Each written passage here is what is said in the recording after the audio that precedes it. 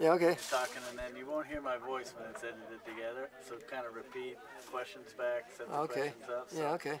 We um, oh, first please say your name for the editor. Yeah, I'm George Walker. And so George, you were uh, um, kind of one of the uh, original sort of drivers or backup drivers. or- Yeah, or can you yeah. explain that to us? Yeah, Cassady did the most of the driving when he was with us, and uh, I was kind of the number two driver. And then Cassady didn't drive back. When we got to New York, he had to go back to his job, so we kind of divided up the driving on the way back from New York, across the country, across Canada and stuff. Was it hard to drive this thing? Yeah, it's hard. It's really it is pretty hard to drive. Uh, no power steering, and it's heavy, so it takes a lot of effort to steer it, especially when it's going slow.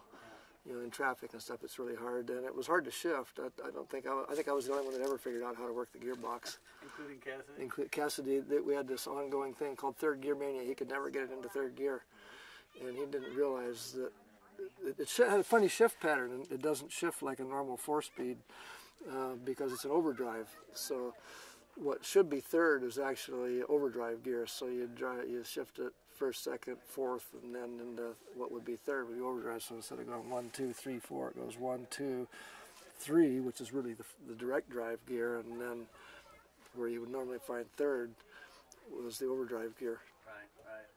And when, when you uh, when you took that first trip across, you, did you have any sort of idea about the legacy you were creating, or how this all was going to play? No, we weren't trying to do anything spectacular other than just make, you know, ha- have a fun trip. And uh, we'd all, a bunch of us been playing with film. Hagen and I both had some movie cameras and, we're, and we were playing with film. And they thought, well, let's film this thing and make a movie of it. It'll be an interesting little movie. Yeah, So, but that was about the, the extent of our impact that we thought we would have would be, you know, a, a very minor kind of a movie. yeah, And yeah. we weren't certainly weren't trying to set ourselves up as any kind of uh, cultural icons or anything like that. Don't start the day that. No, And the um, um, and Cassady didn't let anybody else drive. Really, he kind of hogged the wheel, didn't he? well, it wasn't so much that uh, he always preferred to drive, uh, and I understand that. I always prefer to drive. I don't like having anybody else drive. And Cassady was a pretty good driver, and and he was a very spectacular driver. And you know, he was kind of the star of the show at the wheel. So there was really no, other than when he'd get too tired, there was really no reason to have anybody else drive. You know, he he could do it and liked to do it, and he was the most fun to watch driving. So. What was fun about watching him? Well, he he's very kinetic. You know, he wouldn't just sit there. You know, I don't know if you've seen any of the film, but but he's always doing stuff, gesticulating this way and that. He's rolling a joint with one hand and steering with the other. He's always doing something. You know, he, Cassady was one of those really nervous, high energy people that could never sit still, and he wouldn't sit still driving either. So he was, and he was always talking. He was, you know, rapping away constantly and talking about stuff, and he so he was, you know, carrying on constantly. Whether anyone was listening or not? Yeah, right. It didn't make any difference. He'd, he'd, he'd be talking whether anybody was listening or not. A lot of times nobody listened because you couldn't understand what he was saying anyway. And what about the reaction you got from uh, people in the South or New York City? Had they seen a group like yours rolling through, or were people just kind of No. indifferent to it? Or? No, most people were not indifferent. Most people reacted. And most people reacted pretty favorably. You know, they were amused by it. It was this amusing thing. Nobody knew what the heck it was because it wasn't one of anything anybody had ever seen, and there would never been anything like it. So we kind of impacted people. And the South, uh, I think that they figured we were freedom riders because it was the time when busloads of people were going down there for civil rights reasons. And uh, we even accidentally uh, integrated Lake Pontchartrain when we got to the New Orleans. Yeah. It was a hot, sweaty day, and we saw the water and jumped in and looked around, and gee, there weren't very many white people where we jumped in the lake. In fact, all the white people where we jumped in was us. Was that a problem? no, it wasn't. Uh, there were a couple people that kind of were a little grumpy about it, but I remember one guy said, hmm, a lot of trash in the water today. What was, But, what uh, was the last time you rolled on the bus? What was the last trip you took? Out? I don't remember. Okay. It's been so long ago, I don't remember when the last What trip I took. was. about pulling it out today? I was all for it. Yeah. Yeah, I've been wanting to do this for decades. I've been wanting to see if we couldn't put it back together. I think it. Where, where does she go from now? Well, that remains to be seen, I guess. Uh, there's a lot of talk around. Uh, Zane has talked about somebody raising some money to do restoration work on it, and people are talking about the huge amount it would take, which I think is really not true. I talked to the factory, uh, Gillig in Hayward, California, that built it originally, and they said, no problem. You know, as far as the body's concerned, we can fix whatever's wrong with it. You know, up to and including building it all new, like it was, and it's nowhere near that bad. And they showed me one that they had done at that time, which was probably 20 years ago, and it was older than this. And yeah, it looked like new. And they said, yeah, we we built it. We can just take it apart and put new panels on it. Wherever they're rusted, we can put new panels on it. And it wasn't going to cost a huge fortune, you know. That seems like it's in pretty good shape. It really is, and, and mechanically, it's really easy. You know, trucks are all pretty universal. Uh, I replaced everything on the new bus from the radiator to the rear tires in about a month. With just you know parts that I found, and we rebuilt an engine and you know junkyard parts. You know everything is fresh on that. There's no none of the running gear except the front axle uh, from what was on it before. It replaced everything. And we do the same thing here. Just get another engine. These engines are plentiful and cheap. Uh, probably fix the gearbox. It's got some broken gears. Uh, don't know if we can find the gearbox, but if we can, replace, you know, do that. Probably put a different rear end under it, uh, or at least different brakes, because this was really inadequate for brakes. And all new brakes on the front, I'd say. Just pull off the backing plates and put a whole new brake system on the front, just hang it on that axle wheels and tires, and you know, got it, and it's ready to run. Yeah. Did you expect more problems pulling it out today, or about what? No, it's just about what I thought. Just, I thought it would be hard to get it started, and once we moved it a foot, it'd be pretty easy. Yeah. And have to clear stuff out of the way, and that's just what we did. Was it hard steering it from up there? A little. Once it's moving, it's not too bad. Right. Trying to turn it with just sitting is real hard. Yeah. It, it, you have to tug on it like you're uh, really hauling on a rope or something. But Yeah. Well, uh, uh, switching a little bit. So, do you do you think of this thing as um, the bus here as a way to kind of let young people know about what happened then and some possibilities, or is that Well, too grandiose? I, I don't think of it like that much. I just think of it as it's a piece of history. You know, it's a it's a cultural piece of history, and I like to see things preserved. I like I like old houses. I like old cars. I like old stuff to be preserved, and this thing is significant. And for that reason, I'd like to see it preserved. I'd like to see it fixed up and preserved and able to drive around and maybe make a few appearances from time to time. But I don't have any illusions about us being any uh, be all know all of society or anything. We were just a bunch of young people out on a lark having fun. And, yeah. What and do, you, what do you think Ken would have thought about pulling it out? oh, he didn't want to really do it. Uh, I talked to him about it, and he he really liked the idea of stuff just rot, rotting into the ground. And I can I understand that viewpoint. I don't share it, but I can, I understand it. And, you know, it's just a different viewpoint, and that was his idea. And Faye didn't really want it to just to pollute the swamp forever. You know, it probably would be leaking oil and stuff like that. So, you know, it's bad for the water table, and e- ecologically, just letting it rot out there was probably not a good idea. So. And now it's up here, so step Now one it's here. down. Step one, yeah, here it is, and uh, you know it's got this much much momentum on it. So I don't know. We'll see what happens if uh, some money gets raised. I I told Zane that if people really want to do that, that I'd help some, and give them advice on how to do it because I've I've kind of searched out parts for over the years just in case we wanted to do that, and Yeah. I've got an idea how to look for what it needs, and I pretty much know what it needs to to get it driving. Yeah. You know, I've kind of mentally been through the whole process, and several of the people are still available to repaint it. Uh, Roy, who was one of the originals, and is a very good painter, and is always looking for work, and would like doing it. I'm sure that, you know, it would be the kind of thing that put several of us together and hire us for a summer or a few weeks, and uh, you know, we'd have it looking good. I'd say we'd look at a lot of the old photographs and reproduce a lot of stuff, and it was painted many times over. It was it wasn't like it had a paint job that we'd have to reproduce it. It was completely painted over numerous times over the years. I can think of at least four or five times it was completely re- painted over and redone. Yeah. So you know, a little of this, a little of that, and Yeah, a little new. Zane says when people ask him, uh, "Are you going to restore the original paint job?" and he says, "Well, which one?" Yeah, exactly. There, there, there, there never was an original paint job. You know, we started painting on it, and we never stopped until we parked it. Yeah, it was a constant working process. Uh, and a couple times we just said, well, let's change it. And I remember they had a rally in Berkeley, Vietnam Day, when there was all this protest for the war and stuff, and uh, so we painted it over completely in kind of blood red color and put a bunch of uh, stuff that looked like symbols on it, you know, war symbols of various You kinds. too well received at that rally, if I. Uh, we went in uh, chanting "Bomb Vietnam, Bomb Vietnam." there was a, a big uh, confrontation between the, the peace ralliers and the Hells Angels, and we'd been hanging out some with the Hells Angels, and uh, so we showed up at Sonny Barger's house with Kesey and Cassady and uh, Allen Ginsberg, and uh, sat down and had kind of a peace talk with them.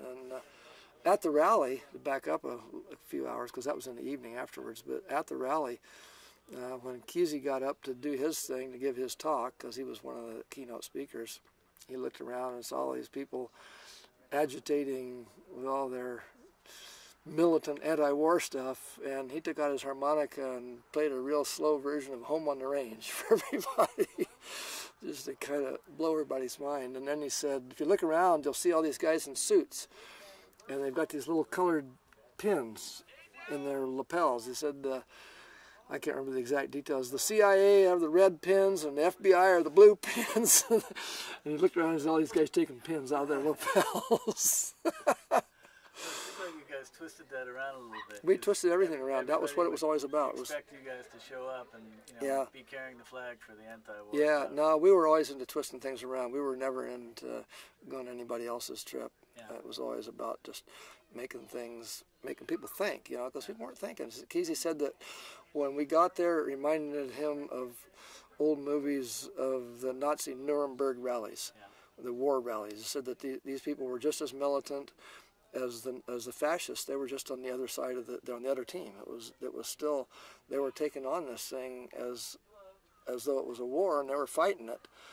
And you don't ever achieve peace by fighting. You don't achieve peace by fighting war. You know, it's still just more war. It's still more fighting, and, and he realized that. And uh, there's a lot of things like that that I learned from Kesey that are really valuable to me in life because he was he really had great insights about how people think and operate and what makes people's minds work and stuff. And uh, it it was seems, seems like we got some of that kind of coming back around again. let's hope. yeah. Yeah, let's hope. Yeah. Let's hope that there's something like that coming around again because uh, we need something. You know, we need something. I, the guys that are running stuff now are going down uh, a dead end road. I'm afraid Yeah. that are running this country in, in bad directions, and I don't think that it'll do the world much good to continue in the current directions of where things are going. I think that we need people that have fresh ideas about what we're about and how to achieve that and just just taking things on like that Vietnam Day thing, taking it on as uh, fighting it.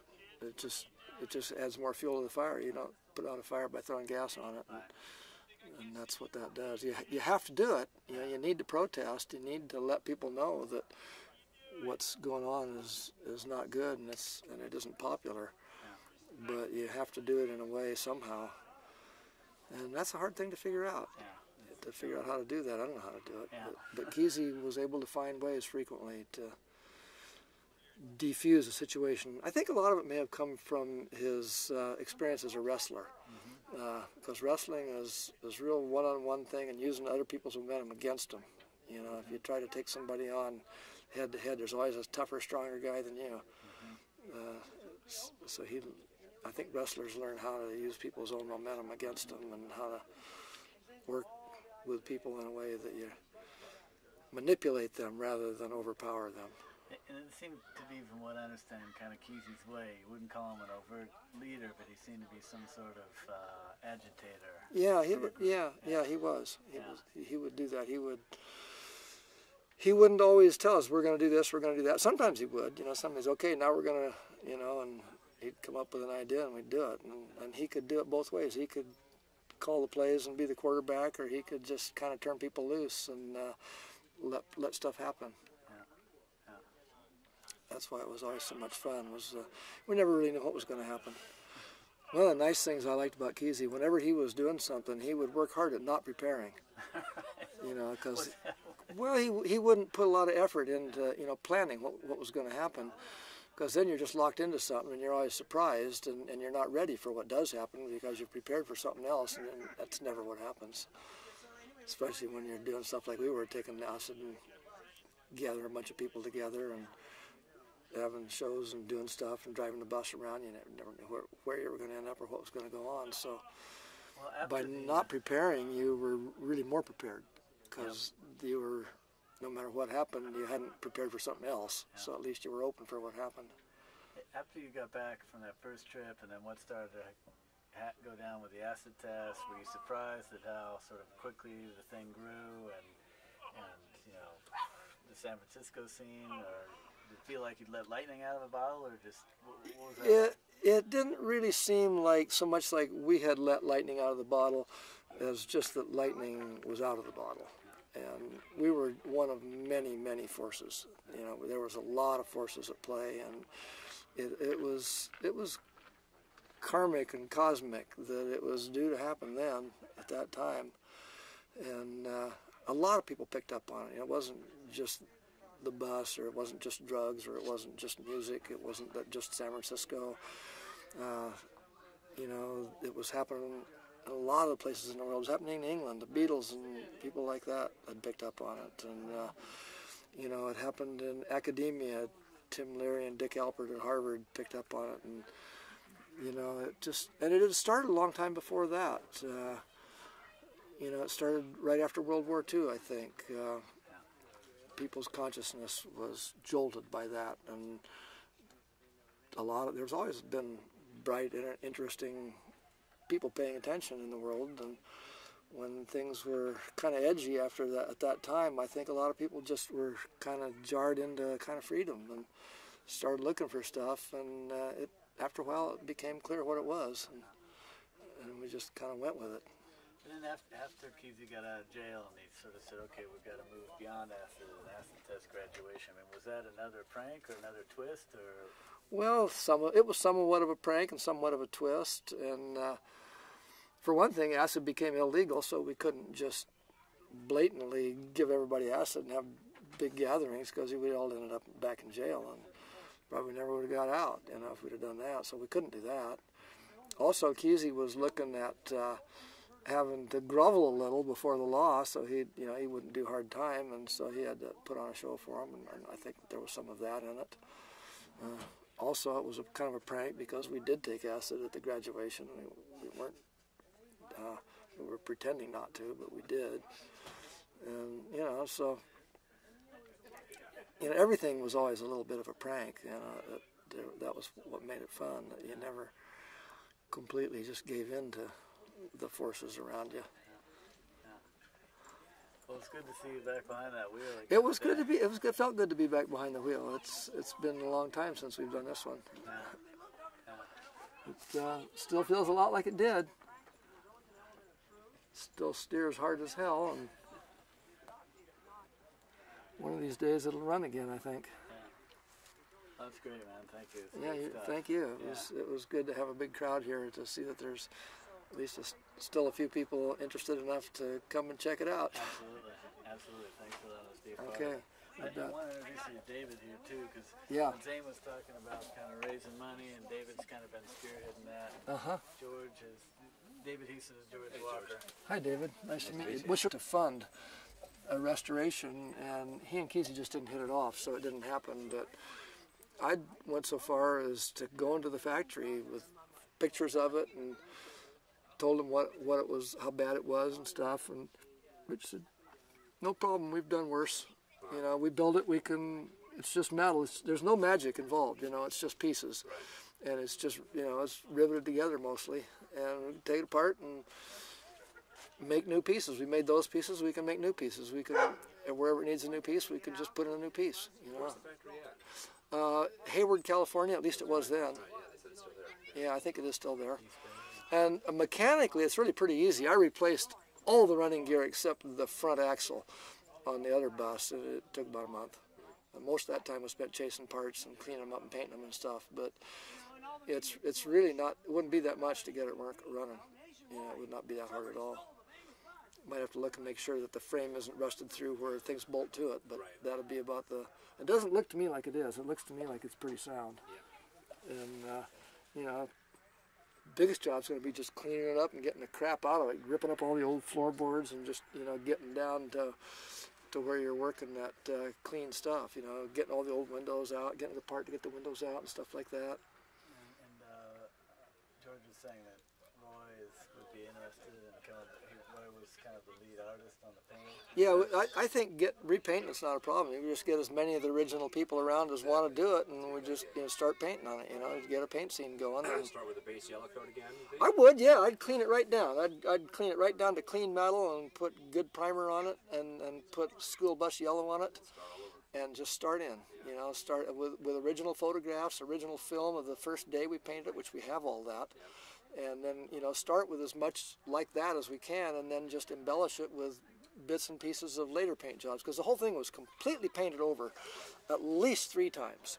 You know, just start fresh, and and uh, so I think that then we incorporate bits and you know some of our favorite aspects of the various paint jobs, and uh, and do it like that, and and have the same people do it Absolutely. and and that and then it's authentic, you know, because we were always painting. It wasn't like okay, now it's done. That's the paint job, you know. It, it was uh, happening to pay. There were when we were in Mexico with it that whole summer we spent in Mexico in '66 down in Manzanillo. I spent whole days, day after day after day, weeks, just painting. You know, painting on the bus. You know, sometimes with little tiny paintbrushes, doing a little like pinstriping and stuff like that, and little detail edging around designs. And I spent probably several hundred hours doing that. That's what you do in Mexico. Like, Yeah, that's what you do. You know, you sit around, smoke joints, and drink drink ninety centavo beer, and uh, and paint on the bus. There's nothing else to do. Go surf in the, go surf for a while, and come back and paint for a while. Laugh on the lam. Laugh on the lamb, yeah. That's not so bad. Well, cool. So uh, that's perfect. Uh, and so I, I've always thought that the restoration. Everybody's, oh God, it's impossible. It's a terrible wreck, but yeah, it's not that hard. It's not that bad. Yeah. You know, I think that uh, getting it running could do it with less than ten thousand dollars. wow. You have it driving for less than ten thousand dollars. Yeah, that's certainly the most reasonable estimate. I've And I'd say the body could be done. I don't know, but back then they were talking some number like ten to twenty, and it's probably more than that now because prices are higher. But you know, you have to just have them look at it and see. So the factory though says they would do. They would. Do They would do it. They would do it. Yeah, bring it here. They would. They would redo the body. Yeah, Yeah. It should be done by the original factory. It should be done by Gillig. Right. They should give us back a 1939 Harvester bus. Yeah, Then we go and we take we paint it again. Yeah. It's the same process. yeah. I think we, before. we have it driving before we take it to them. We get the we get the running gear done first, I think, and then take it for the body. That's it. That's it. Are you local here, George? Some of the time, I'm in Eugene part of the time, and I'm in the Portland area part of the time. I've got property uh, in a little town called Scappoose outside Oh, Portland. sure. Yeah, up towards Washington. Yeah. Yeah, I live up there. I'm up there more than I am in Eugene this month, Okay. but I've got two houses in Eugene too that I'm working on. So I'm, I'm a slumlord. Real estate magnate. Yeah, real estate magnate. Yeah. All right, perfect. Yeah. Do we have a? Do we have any contact information for you? Do we? Have Zane knows how to get a hold of me. Fantastic. If you want to write it down, I'll give you my phone numbers. We'll. Yeah, okay. right, and Zane's got my email. And uh, yeah, from time to time, and some of the things I think we need is a new hood and grill. And uh, we start looking in uh, stuff like Hemmings Motor News.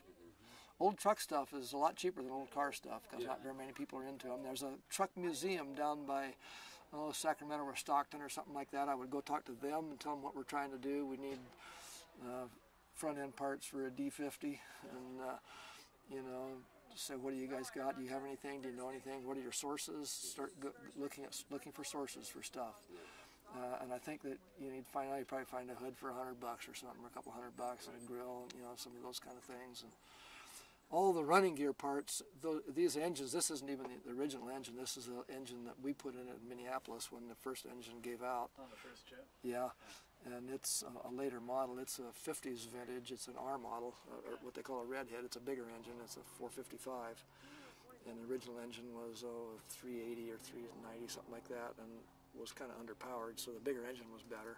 But those engines are plentiful. You know, they built they built hundreds of thousands of them, and you know, they're nobody really has much use for big gas truck engines, but a lot of them are still running. They're good, strong engines, so they're it's easy to find that. How long were you held up in Minneapolis doing that? Uh, about a day. Okay, not too bad. No, it wasn't bad at all. out? Yeah, in and out. They did it at night. They did it overnight. By morning, we were driving out of there. Okay. Yeah.